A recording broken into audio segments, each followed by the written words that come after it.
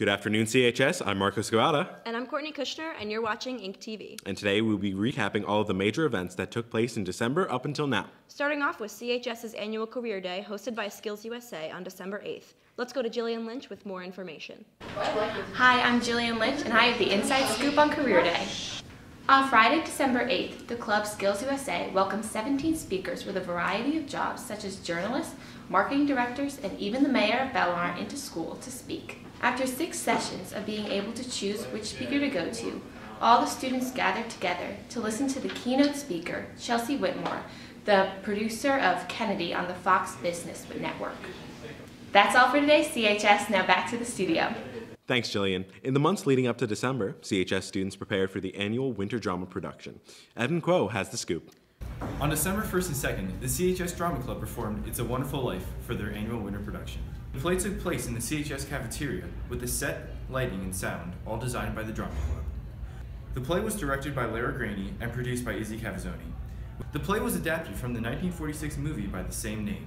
It follows the life of George Bailey as he considers committing suicide and the aftermath that follows. The role of George was played by senior John Slovak for his seventh show with the club. We asked him about his experience acting in the play. Yeah, the play was a great time. I mean, it was pretty stressful because I had like like 350 lines, but uh, it ended up turning really, turning really great, and uh, everyone had a great time.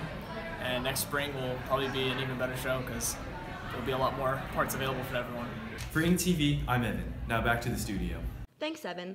CHS invited Dr. Michael Fallon to the school on December 11th for a school-wide assembly. Brigid Garrett has the story. I put you on a different track. Monday, December 11th, Michael Fallon came to give a presentation to CHS students. His show incorporated skits, stories, and motivational speaking to promote inclusion, kindness, and respect throughout our student body. Afterwards, he stayed through lunch to speak to students with comments about his presentation. For Ink TV, I'm Brigid Garrett. Thanks, Brigid. As the months went on, fitness teacher Ginny Clevenger has organized a music program during lunch for students to partake in. Let's go to Bridget McCarthy for the rest of the story. Mondays this December, students of all grade levels gathered for some relaxed, unplugged musical performances put on by other students. These meetings are called Musical Mindful Mondays. They were started by fitness teacher Ginny Clevenger. Why did I decide to start Musical Mindful Mondays? Kieran Varian, in two words. Um, he mentioned to me that some kids at CHS were unable to either participate in or go to coffee house, so we decided let's do something in school then. Have these gatherings gotten a positive response? Well, last week was the first time we did it, and we had about 50 kids come in during lunch. And right now we're in the midst of our second week, and I counted about 40 in there. Um, my committee has done a great job recruiting. Why is it important for teens to practice mindfulness? Well, it's not just important for teens, it's important for everybody. We should all be conscious of what we say, what we do, our actions. We should be mindful of everything that we do every day and just be kind and nice to each other. The Music has a lot, big effect on my um, mood and stress levels. When I'm listening to music, I'm a lot calmer, and it just gets me into like this kind of zen mode. And also when I'm listening to like, good music, it makes me a lot happier.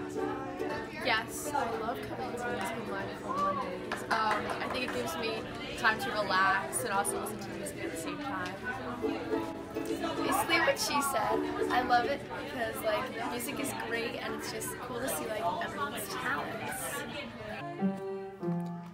These days, teen stress levels are on the rise, but it's evident that things as simple as downtime and music and friends can combat them. For Ink TV, I'm Bridget McCarthy. Now back to the studio. Thanks, Bridget. Heading into winter break, Bella Maddock got the chance to see what CHS students have planned for their week off. Hi, I'm Bella Maddock, and this hall call, I'm asking CHS students what their plans are for Christmas break. I'm probably going to sit on my couch all Christmas break. That's it. I'm going on vacation with my family over Christmas break to Barbados. Over Christmas break, I will be catching up on sleep and probably going to the city. I'm actually skipping school on the Friday before break starts, and my mom and I are flying to Jackson Hole, Wyoming, and we're skiing until we're skiing there until the 27th. Then we fly back and we go straight up to my condo in Vermont, and we're skiing some more. That's all for today, CHS. Now back to the studio. Thanks, Bella. In January, students had a lot of time off due to snow days. Both teachers and students' opinions on snow days seem to differ. Let's go to Michael Rao to see what CHS thinks about snow days. Uh, snow days are my favorite days, so I don't mind having them even if I get like days taken out because I would rather have days added on and be able to like enjoy the snow when it's cozy and it's nice out. At the time, I was glad that we had the snow days, but now that we have the other two days off, that would have been long weekends. I'm pretty annoyed that we have to come to school. I think snow days are a good break from school. I really like snow days uh, in general, really. For the past couple ones, what I've been doing, I've just been getting my pots and pans and I've been cooking up a nice, mean little, little pot of chili. And it's really great, a nice warm meal on a cold day to really warm my bones and just fill my tummy. Like, we'll have to cut off part of the break. But, uh, I mean, that's fine. I had fun. I like snowballs. Yeah.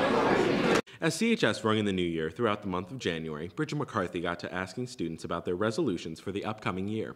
Let's go see what they have to say. Hi, my name is Bridget McCarthy, and today I'm asking CHS students what they think of New Year's resolutions. Um, my New Year's resolution is just to be happier and healthier. You know, just kind of go with the flow. Don't let anything stress me out. I did not because I don't believe I'll change after a day. I don't, did not make any New Year's resolutions because I don't plan on changing anything about myself. I'm perfect the way I am. Um, I made one New Year's resolution, and that was just to get into college, and just because I want to go to college. I did not make any New Year's resolutions this year because um, I couldn't think of any. Thanks, Bridget. As the month went on, students not only prepared for finals, but also their classes' next marking period. Liam Marshall got the chance to talk to students about their plans for second semester. My name is Liam Marshall, and I got the chance to ask CHS students whether they're excited for the upcoming semester. Yeah. yes, I'm excited. I'm excited to start the next semester because I'm excited to start new classes. I'm sort of excited for the new semester. I think it's going to be like a little tough since they're my classes that I'm not so strong in, so, but I'm excited for a new start. I'm pretty excited for the new semester because I'll be in college and then I don't really have to care about anything that I do um, because my grades won't matter anymore. Yes, because I will have new classes. Um, I'm a little apprehensive about it, but I'm keeping an open mind because I do have physics next semester. I've heard a lot of horror stories about that. But other than that, got stuff like design, which I've heard pretty good things about. Uh, Miss Lane, I've never had her before. Heard great things about her too. So I'm trying to stay positive, but physics is like the wild card for this one. I am excited for the new semester because I have all my easy classes next semester. I'm going to be done with physics and math, so I'm pumped. Signing off for Ink TV, I'm Liam Marshall. Thanks, Liam. Well, that's all the time we have for today, CHS. Thanks for tuning in to this month's episode of Ink TV. I'm Marcos Guevara. And I'm Courtney Kushner. See you in February.